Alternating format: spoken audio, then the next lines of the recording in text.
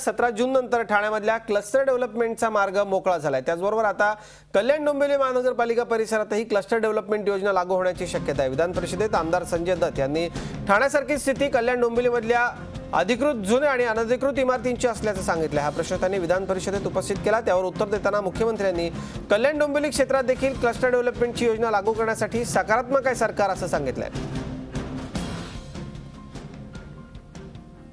Cluster डेव्हलपमेंटची योजना कल्याण डोंबिवलीमध्ये सुद्धा अंमलात आणावी. यावर पहिले माननीय राज्यमंत्री उदय सामंत साहेबांनी सांगितलं की ठाणे आणि नवी मुंबईची योजना याच्या हरकती आल्यानंतर प्रयोगी तत्वावर अनुभव घेतल्यानंतर कल्याण डोंबिवलीमध्ये मागणी जाईल.